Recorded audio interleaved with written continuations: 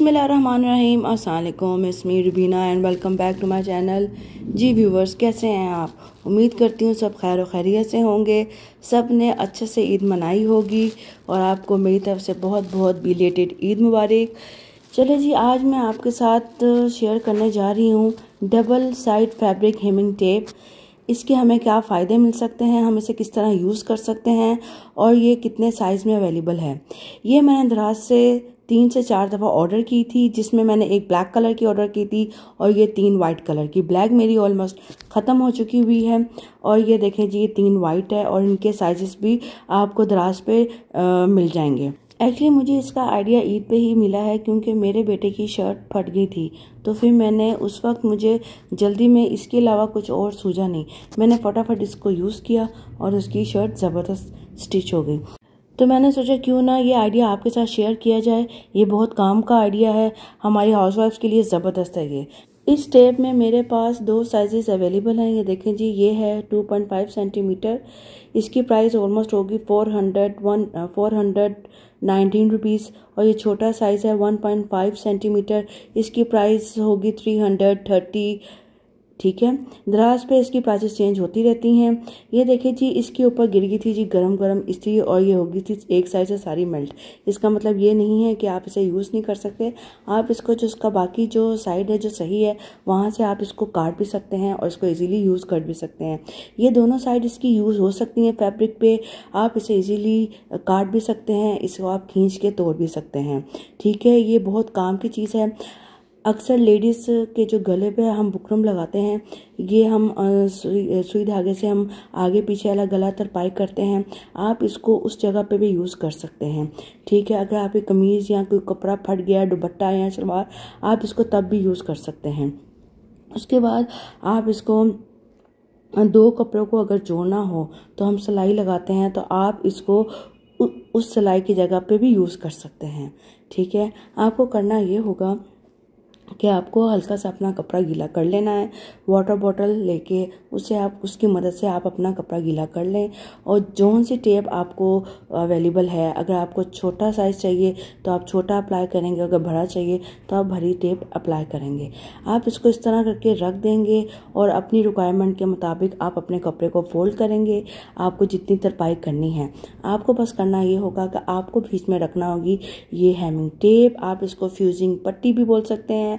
Hamming take भी बोल सकते हैं फैब्रिक लाइनर भी बोल सकते हैं, ठीक है डबल साइडेड टेप भी बोल सकते हैं। ये देखिए जी, अब आप इसको इस तरह रखेंगे कपड़े को और आपने इस तरह से फोल्ड किया और इसके ऊपर आपने रखनी है जी अपनी गर्म इस्त्री टेन सेकेंड्स के लिए, ठीक है?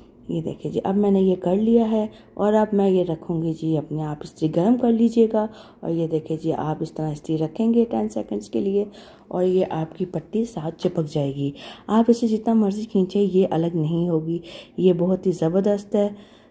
ये देखें जी, ये जी हमारी हो गई है जी तरपाई बग़ैर किसी सिलाइयों के। ठीक है जी? ये देखें जी। ये देखें जी, ये हो गई है, चिपक गई है एकदम। ठीक है? फिर भी आपको अगर कोई शक हो शुबा हो तो आप फिर एक दफ़ा इस पर आयरन कर सकते हैं। ठीक है? ये देखें जी, ज़बरदस्त हो गई है जी, आपकी तरपाई और लग भी नहीं रहा कि आपने तरपाई की है। ये देखिए जी, अब मैं आपको छोटी फ्यूजिंग टेप के साथ करके दिखाने लगी हूँ।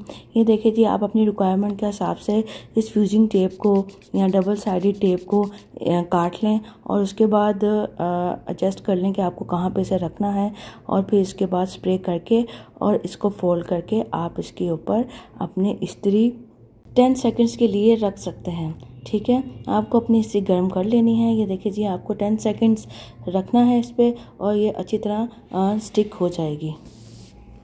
ये देखिए जी हमारी ये हेमिंग हो गई है जी सिलाई हो गई है। अभी मैं आपको दिखा रही हूँ कि अक्सर हमारे छोटे बच्चे भागते भागते खेलते खेलते गिर जाते हैं और घुटने से शलवार फट जाती है। ठीक है? आपको ए, अपने फटे हुए कपड़े के मुताबिक अपनी ये टेप लेनी है और कपड़े को गीला करके उस टेप को उस फटे हुए कपड़े पे रखना है। उल्टी साइड रखनी है। सीधी साइड नहीं रखनी कपड़े की। और फिर मैचिंग कपड़ा लेके उसके ऊपर भी आप हल्का सा स्प्रे कर दें और आप इसके ऊपर इस्त्री लगाएँ।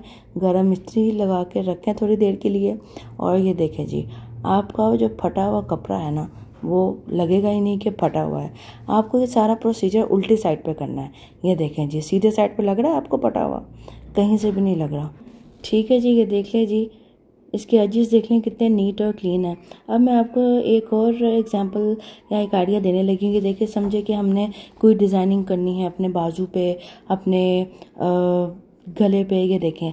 आप इस तरह स्प्रे करें और इसको इस तरह फोल्ड करें, ठीक है? और फोल्ड करके आप इसको इस तरीके से आयरन कर दें, ठीक है? ये इसलिए साथ आ रही है, ये रुक रही है क्योंकि फ्यूजन टेप इस्त्री को लग गई थी। तो आपको ये भी ख्याल रखना है कि आपकी ये जो डबल साइडेड टेप है, ये आपकी गर्म इस्त्री के साथ स्टिक नहीं हो। अगर स्टिक होगी तो ये आपके कपड़ों को सिल्वर दे देगी, ठीक है? तो ये देखे जी, ये मैं आपको करके दिखा रही हूँ।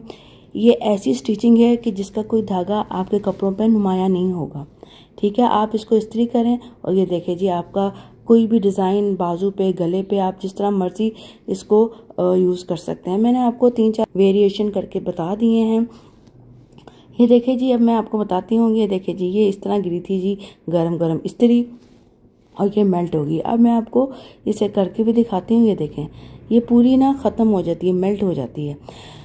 तो बस आपको इससे स्त्री को दूर रखना है। आप इसको बस तभी इस्तेमाल कीजिएगा जब आप इसे कपड़े के अंदर रखेंगे, ठीक है?